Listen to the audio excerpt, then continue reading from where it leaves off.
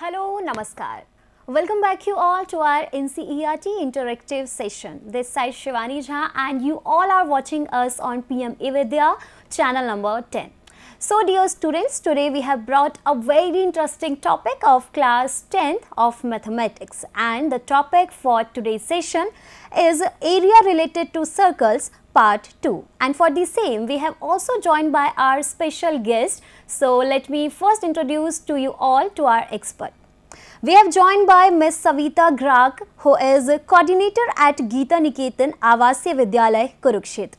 So, a very warm welcome, ma'am, and namaskar to you. नमस्कार शिवानी और हमारे दर्शकों को भी नमस्कार Okay. So, dear students, so before we move further, let me know you that if you find any kind of query or doubt uh, related to this session, so you can directly reach us out through uh, phone number or mail ID. So, our phone number is double eight double zero double four zero double five nine and our email ID is dth.class10 at the rate ciet.nic.in. So now it's time to begin our session. And uh, so I would like to ask to Savita ma'am that ma'am as we have covered the first part in our previous session.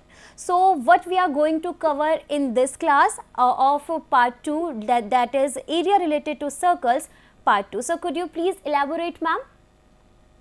Yes uh, बिल्कुल तो शिवानी जी आज हम discuss करेंगे area related to circles part two definitely in part one हमने discuss किया है कि real life में सर्कुलर शेप जो हम बहुत जगह देखते हैं तो उनका क्या क्या इंपॉर्टेंस है? We have discussed various parts of a circle like code of a circle radius of a circle we have discussed about diameter of a circle and many other parts of a circle we also have discussed about concentric circles with our viewers the circumference and the area of a circle yes now what do we mean by a circle? Let us once again recall the same and then we shall proceed ahead.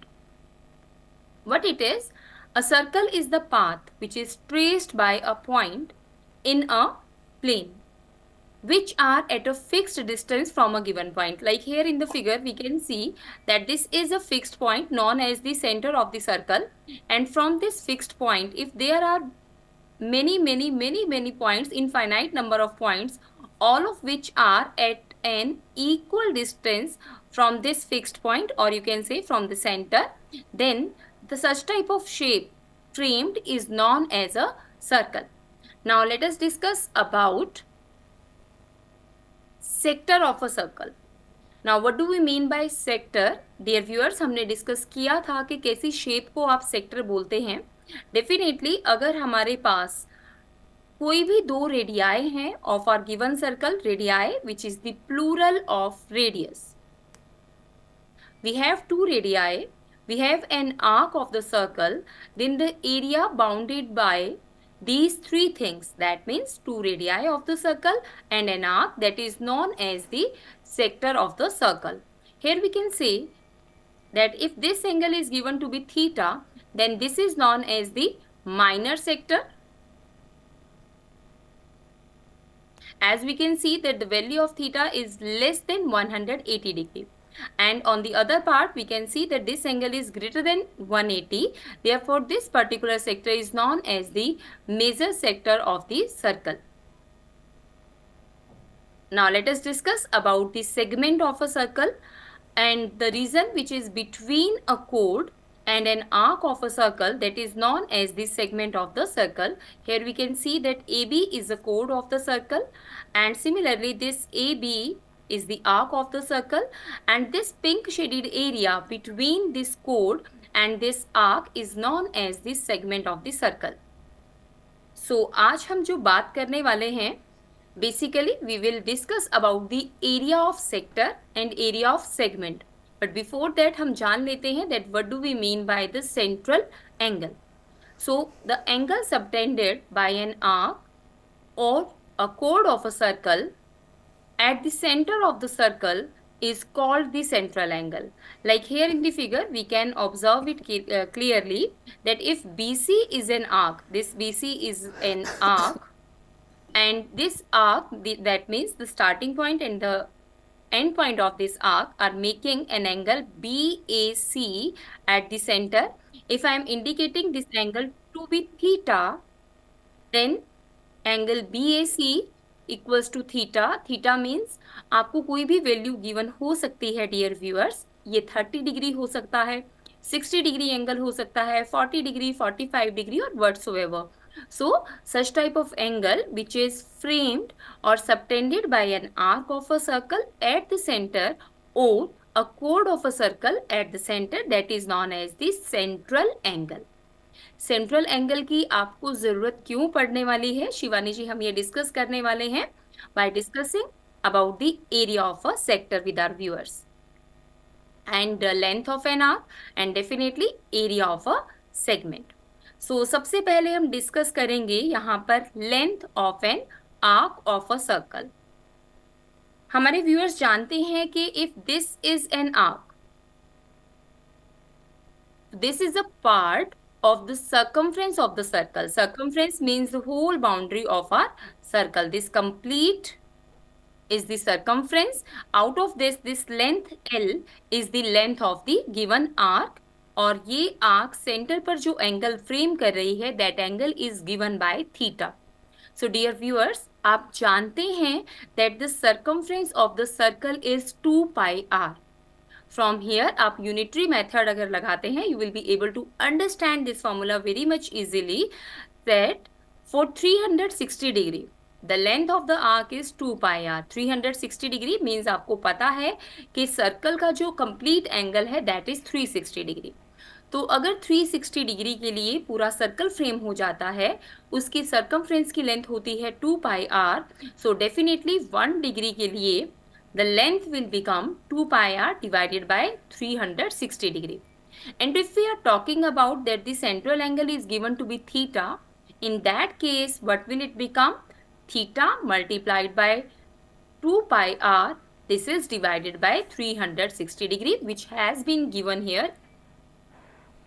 as such that the length of an arc equals to theta divided by 360 degree multiplied by 2 pi r. Dear viewers, you can also rewrite the same as pi r theta divided by 180 degree. So if you find your formula written as pi r theta upon 180 degree somewhere, that is also correct. If you are finding it as theta upon 360 degree multiplied by 2 pi r, that is also correct. इसके साथ ही discuss करते हैं area of a sector हमारे viewers ये बहुत आसानी से खुद से अब कैलकुलेट कर सकते हैं जैसा कि लेंथ ऑफ़ आर्क हमने डिस्कस किया है तो ऐसे ही 360 डिग्री के लिए जो एरिया बनता है दैट मीन्स कंप्लीट सर्कल का जो एरिया है that is pi r square Shivani ji, we have discussed about the area of a circle in our part one. yes, बहुत ही क्लियरली हमने डिस्कस किया था कि किस तरह से सर्कल्स को एक रेक्टेंगल में कन्वर्ट करके उसका एरिया हम कैलकुलेट कर सकते हैं। और अभी एरिया ऑफ़ सर्कल का यूज़ हम कर रहे हैं to find the area of a sector now for one degree definitely 360 will be there in division and it is pi r square theta upon 360 degree then if the central angle is theta in that case the area of our sector is pi r square multiplied by theta whole divided by 360 degree and which has also been mentioned here as such so so, इस तरह से हमारे viewers को पता चल जाता है that what is the length of an arc and what is the area of a sector which is making an angle theta at the center of the circle. बात करते हैं, अगर हमारे पास जो सेक्टर है, वो माइनर ना होकर मेजर सेक्टर है। जैसा कि in the given figure we can see that this is the central angle theta this is definitely the minor sector and this complete is the major sector of the given circle major sector centre पर जो angle frame कर रहा है that angle is actually 360 degree minus theta viewers आप समझ सकते हैं कि थीटा एंगल अगर माइनर सेक्टर के लिए था तो मेजर सेक्टर के लिए 360 में से आपको उस एंगल को सिंपली सब्ट्रैक्ट कर देना है. And if I want to find the area of the major sector what that will be that is equals to area of circle minus area of minor sector और circle का area आप जानते हैं that is equal to pi r square तो simply what we are getting we are able to get that pi r square minus area of minor sector हमारे viewers चाहे तो area of minor sector की place पर लिख सकते हैं pi r square minus pi r square theta whole divide by 360 degree इसी तरह से अगर वो थीटा के प्लेस पर एंगल ही ले लेते हैं 360 degree minus theta even that will be correct यानी वो सेक्टर के एरिया के लिए अगर डायरेक्ट फॉर्मूला यूज़ करना चाहते हैं pi r square the angle made by the major sector which is 360 degree minus theta and this complete is divided by 360 degree even that is correct so so, आप formula as such use करें या circle का area अलग से निकालें minor sector का area अलग से निकालें और दोनों को सब्ट्रैक्ट कर दें। In both of the case cases आपका आंसर बिल्कुल सेम आएगा इक्वल आएगा। ओके सो सविता मैम मेरे पास एक क्वेश्चन है जैसा कि आपने यहाँ पर एरिया ऑफ़ सर्कल के बारे में पढ़ाया बच्चों को। तो अगर हम रियल लाइफ एग्ज़ाम्पल के बारे में बात करें यहाँ पर तो हम रियल लाइफ एग्ज़ाम्पल से किस तरीके से समझ सकते हैं जो सर्कल के शेप में हो और हम उसका एरिया निकाल सकें। तो क्या आप वो हमें बताएँगे?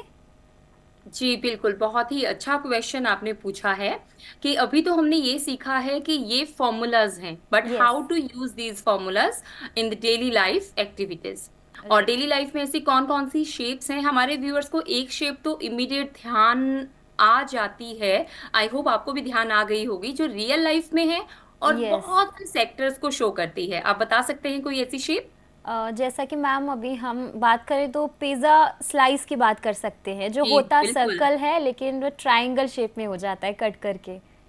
जी बिल्कुल सही कहा आपने। किसी एक सर्कल को अगर हम बहुत सी स्लाइसिस में डिवाइड कर देते हैं from the centre of it तो आपके पास पिज़्ज़ा का एक सीधा सा एग्ज़ाम्पल सामने आता है। एट स्लाइसिस में हमारा पिज़्ज़ा कटा होता है।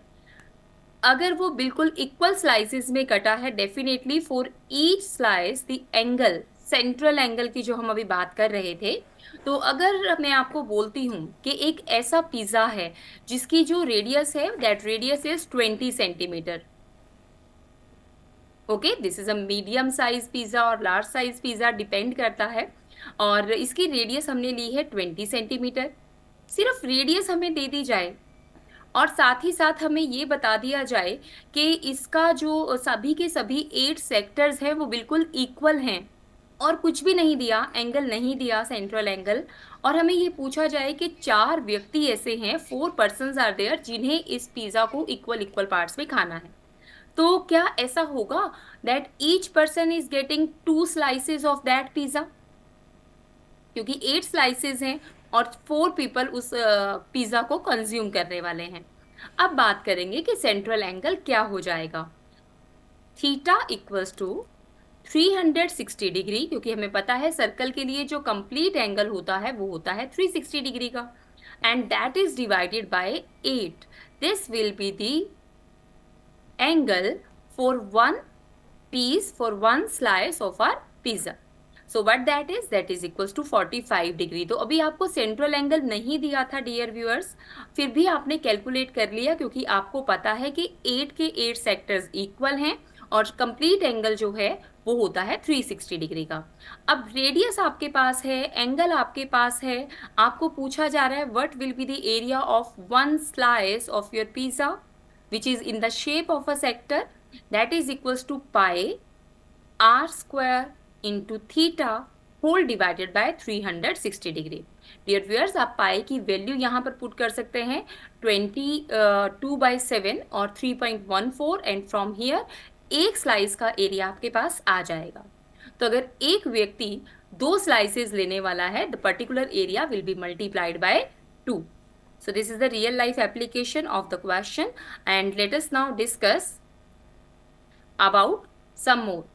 Questions related to the same thing. Here is one question on our screen which is clearly visible to us. What the question is? Find the area of a sector of a circle. Figure भी हमारे सामने है और given है कि इस circle के लिए जो रेडियस है that is equals to four centimetre So this is the circle whose radius is equals to 4 centimeter and the central angle is given to be 30 degree and we have to find the area of this sector इसके साथ ही साथ एक और question हमारे viewers को पूछा गया है.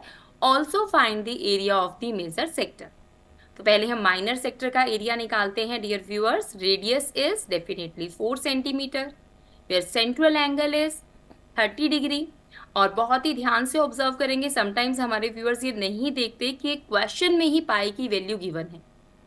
अगर आपको पाई की वैल्यू क्वेश्चन में गिवन नहीं है तो आप पाई के कोई भी वैल्यू यूज़ कर सकते हैं। इधर 22 अपॉन सेवन और 3.14 but if the value is given to you you are bound to use that value only so what is the area of minor sector area of this sector this is definitely equal to pi which is 3.14 r square which is 16 multiplied by theta whole divide by three hundred sixty degree which can be calculated by our viewers easily.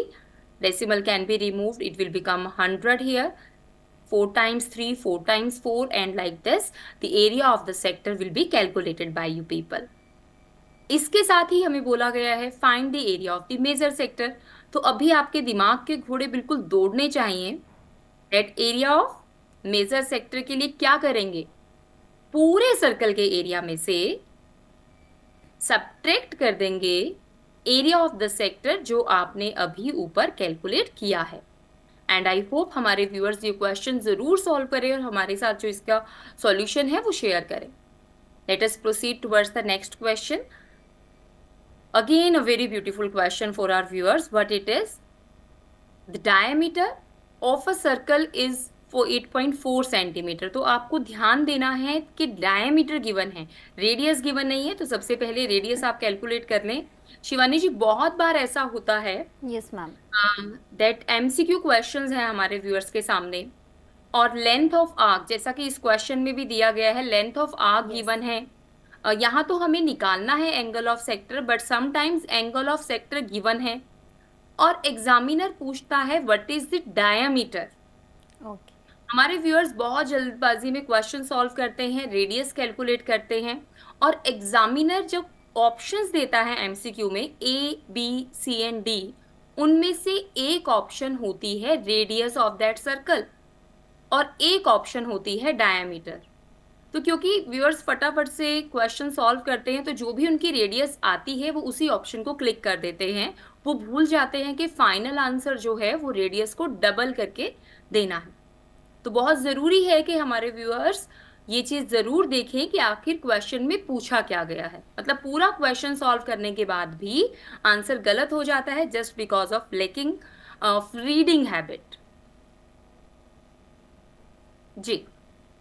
अब move करते हैं इसी question की तरफ़।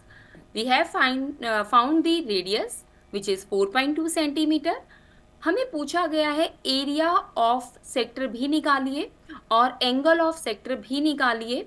If the length of arc is 2.8 pi so length of arc is given 2.8 pi we know that length of arc means pi r theta divide by 180 degree which is equals to 2.8 pi can be cancelled by pi radius भी है हमारे पास which is 4.2 multiplied by theta and this whole is divided by 180 degree equals to 2.8. From here हमारे viewers बिल्कुल easily बोल सकते हैं that theta equals to 2.8 multiplied by 180 degree whole divided by 4.2. तो यहाँ से सेंट्रल एंगल कैलकुलेट हो जाता है थीटा की वैल्यू निकल रही है और जैसे ही थीटा हमारे पास है we will be able to find the area of this sector क्योंकि एरिया ऑफ़ सेक्टर निकालने के लिए हमें पाई की वैल्यू चाहिए रेडियस चाहिए और सेंट्रल एंगल चाहिए। तो central angle was not given जो अभी हम निकाल चुके हैं वो वैल्यू भी हम यहाँ पुट कर देंगे। ओके सो सविता मैम यहाँ पर हम चाहेंगे कि अब अपने बच्चों से इजाज़त लें और यहाँ पर साथ ही मैं कहना चाहूँगी जिस तरीके से आपने हमें एरिया ऑफ़ सर्कल के बारे में पढ़ाया और आशा है कि हमारे बच्चों को भी बहुत अच्छे से समझ आया होगा। तो यहाँ पर हम इस सत्र को सेशन को समाप्त करना चाहेंगे। और साथ ही सबसे पहले मैं सविता मैम आपका बहुत बहुत धन्यवाद करना चाहूँगी कि आप हमारे साथ आज के इस सेशन में जुड़े। तो बहुत बहुत धन्यवाद मैम आपका। और जी शिवानी जी बहुत बहुत धन्यवाद। और स्क्रीन पर एक क्वेश्चन हमारे सामने है। जी जी। इक्विलेटरल ट्रायंगल मेंशन है तो यहाँ खुद से सोचना होगा कि सेंट्रल एंगल हमारे व्यूअर्स लेंगे 60 degree and the question they have to solve on their own और मुझे बहुत अच्छा लगेगा अगर वो इस क्वेश्चन को सॉल्व करके हमारे साथ शेयर करें। और इसी तरह की और प्रॉब्लम्स भी हमसे पूछें। Okay, Thank you. sure. Sure, ma'am. Sure. Thank you, ma'am. So, uh, dear students, that's all for today's session, and I would like to thank all of you जो भी हमारे साथ इस सेशन में जुड़े हुए थे and also let me know you that uh, within a while you can join our various sessions too. You can also check on our screen. You can join our online training program at uh, 4 p.m. to 5 p.m. and after that you can join to our Sahyog session. And also after that सहयोग you will watch our special session of NIPA. So, ये सभी programmes थे sessions थे, जिनके बारे में मैंने आपको बताया। आप अभी से कुछ ही देर में हम सभी से जुड़ सकते हैं हमारे पी एम विद्या चैनल्स और साथ ही N C E R T official channels पर। So we will see you within a while and तब तक आप लोग अपना खूब ख्याल रखें और खूब खुश रहें। बहुत बहुत धन्यवाद। नमस्कार।